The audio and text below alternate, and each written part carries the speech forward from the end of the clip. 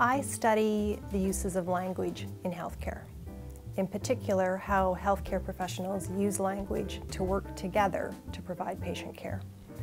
And the educational aspect of that is that a lot of the clinical learning that trainees are engaged in happens through language. They learn to talk the talk, as it were. I am a qualitative social science medical education researcher.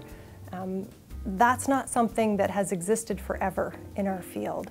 So I feel doubly the honor of having that kind of work recognized, work that looks at the social practices, um, the values, um, the issues of professional identity, the issues of language, and investigates how those influence medicine and medical training.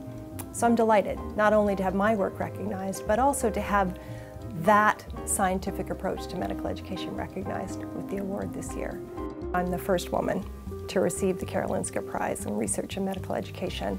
To be the first woman is really to be able to, to carry that honor for all the women who are working in this field, who I hope will continue to be winners of this award going forward.